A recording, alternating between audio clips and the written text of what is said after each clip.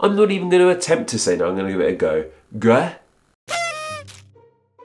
Hello name nerds, my name is Patrick and welcome to Fun with First Names where each week we look into the meaning, origin and some extra fun facts behind one specific first name. And this week we're looking into the first name of Chloe. But before we begin, I want to talk about my Instagram page. Now, Instagram is actually a social media platform I actually really oddly enjoy. I only really started using it a couple years back, and I just find it really fun and refreshing. So I'd highly suggest you go follow me on Instagram. Go to Name Explain YT over on Instagram. I'll be there. It's more sort of my private life. So I'm like, what? It's not really name on language related, but go check it out. I quite like it. I like using the app. You want to see me wearing silly clothes and doing silly things? That's the best place for it. But anyway, on with today's name of Chloe. And Chloe's a really interesting name and actually relates to colour of all things. The name comes from Greek and it simply means green shoots. Well, Wikipedia also says it means things like blooming and fertility, which are kind of the same thing. I sort of presume it's all about things growing, like a green shoot, as in like a green shoot of a plant. So the name definitely has links and connotations with fertility and growth, which is cool. That's fun. Specifically green growth, as we'll talk about right now. It's actually the first part of this name that relates to green, and it actually comes from the same root as the colour green itself, as the name, as the name of the colour green does, and it comes from some Proto-Indo-European root of a word I'm not even going to attempt to say now, I'm going to give it a go. Gue? Proto-Indo-European, or pie as we like to call it, is very strange, but that's where the colour green comes from, as does the name Chloe. But what's really cool is how other words beginning with this close sound relate to green too. One of the best examples being chlorine. Chlorine is seen as being green. It's stuff you put in pools to keep it clean, green and clean. And the chlor at the beginning of chlorine is the same sort of claw sound you have at the beginning of the name Chloe. Cool. However, something fun about the name Chloe is that we're all spelling it wrong. Well, a lot of us are spelling it wrong, myself included. Most of the time in the English language, we will spell the name Chloe C-H-L-O-E. So you might be wondering, well, what's wrong with that spelling? Well, it all has to do with that E at the end. So this name is spelled, as I said, O-E, ends with O-E. And normally words ending with O-E make like an O sound, kind of like with toe and woe, and the name Joe as well.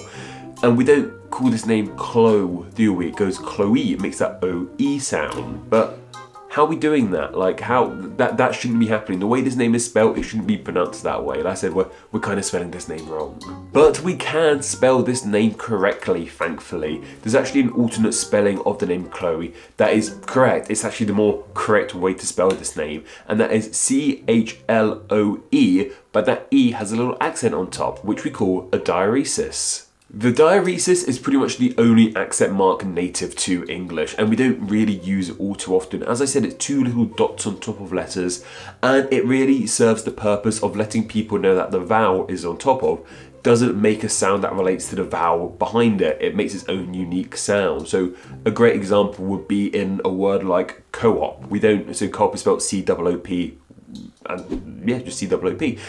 um, if we use the diaeresis, people will know that those two O's next to one another don't make a singular oo sound. It's not coop, it's co-op. And that would help it. We don't use it in that way there, however. We, we probably should. But this version of the name Chloe with this accent does exist and it makes so much more sense because uh, as I said, Chloe, the O and the E in Chloe don't make a sound together. It's not Chloe. Those two vowels make their own unique sounds and using this diaeresis in this spell of the name Chloe lets people know that. It's, it's the more correct way of spelling it. And I must admit, you do every now and then see this spelling of the name Chloe, but it's nowhere near as popular than the incorrect way of spelling it, which is strangely more popular. But then again, English is full of words that are spelled in ways they don't look like they should be spelled in regards to the way they sound. So maybe I'm just being silly, but I, I personally see we have a correct way of spelling this name and we aren't using it. We, we should do that. And what's also annoying is that the diaeresis, the place we do see it most commonly in the English language, is with a different name altogether, that being the name Zoe. While you can spell Zoe just Z-O-E or Z-O-E-Y sometimes, sometimes people spell it Z-O-E with a diaeresis, and this makes sense that we don't say it in the same way we say the name Joe or Toe, it's Zoe, we don't just say Zoe. So it makes sense to be used here. You do kind of see it more with Zoe than you do Chloe, but not as much. You see the other spellings as well. We should use them. We, just, we should just use accent. I made a whole video explaining why English needs accent marks, and this is a perfect example of that. So, next time you decide to name something Chloe, whether that be your child, or a pet, or a lump of wood, I don't know where that came from, that's not the notes. If you happen to name anything Chloe, just, for me, do me a massive favour and add those two little dots to the top of the E and we'll be good to go. Cool. Famous Chloes include, of course, Chloe Grace Moretz, the famous actress. Was she the lady in Kick-Ass? I think she was. I get her confused the girl in Little Miss Sunshine. I'm not a big fan of Kick-Ass, but Little Miss Sunshine, the perfect film.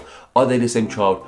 I don't know. We've also got Chloe Zhao as well. She's a film director. She directed The Eternals recently for Marvel. And there's also Chloe Frazer, the fictional Chloe from the game and film, featured in the film as well. I haven't seen the film. But from Uncharted, go play Uncharted. Great games. And Another Chloe has just come to my head, Chloe Kelly. She won the winning goal in the uh, Euro 2022 finals. She's she's an inspiration. I love her. Just another great Chloe. Sound emotional, don't I? No, I'm, I'm just very hungover. But that's just about everything you guys need to know about the name Chloe. But what are your thoughts on this name? Do you like it? Do you dislike it? Do you know anyone with the name Chloe? Are you called Chloe yourself? Let me know down in the comments below. And of course, I just want to share some of the thought to you guys on last week's name of Jordan. Ziv Bleck said, the Jordan River is part of Jordan, the country's western border, so describing it as being within it or going through it is slightly misleading. Also, the country's previous name was Transjordan, as it's beyond the River Jordan. Thank you very much for pointing that out, that is very correct. Um, I did say in that video that the river runs through the country. It's not, it makes up one of its borders, but that also explains why the West Bank is in the east because it's the west bank of the River Jordan. If you look at a map of uh, Israel, it's on the uh, east. Like, why is it called the East Bank? Why is, why, why, why, why is that the case? It's because it's related to the Jordan, not Israel. But that's something fun. I didn't know Jordan used to be called Transjordan. That's really cool as well. Thank you for sharing a former name of a country with me. I appreciate that. BJ Windsor said, First river I think that's also a person's name, Murray, and here's a few more. Shannon, Clyde, Lena, Mackenzie, Volga, Don, Magdalena, Fraser, Lakeland, and Krishna. Thanks for sharing those, BJ. Yeah, no, that's a great example. Uh, Shannon, Shannon's a great one. I don't think about that. I should have thought of that one because I know people call Shannon. I knew there was a river Shannon as well. Great stuff. Well done, BJ. Thank you very much. And Ungan Bunyan said, Frasier yelling Niles made me squeal with delight. Yes, thank you so much. So here's a fun fact. All the awesome pictures and videos you see in these videos, Amber picks 99% of those. So um, I just sent her this footage.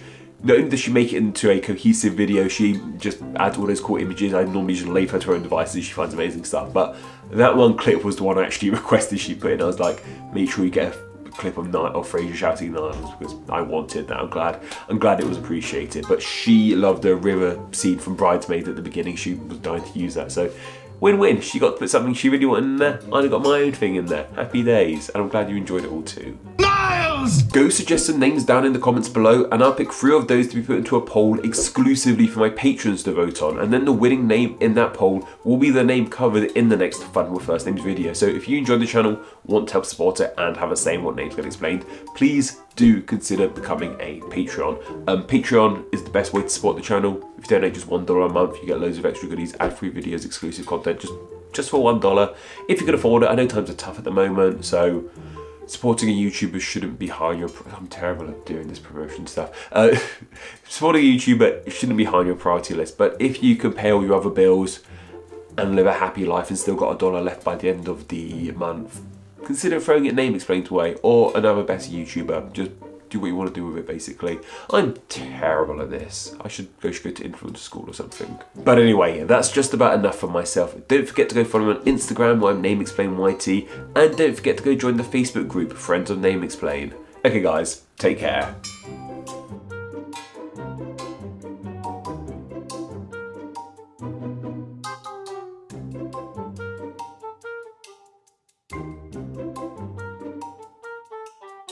Quite hungover today. When I was recording that video, am I to sneeze? I'm to stop recording before I start sneezing. So far so good. Being chlorophene. Chlorophene? Is that what it's called? Have I just made up a word? Chlorine, chlorophene, chlorine. And don't forget to go join the feed. I just dropped my phone. This is a wreck, Amber. I can shut off now.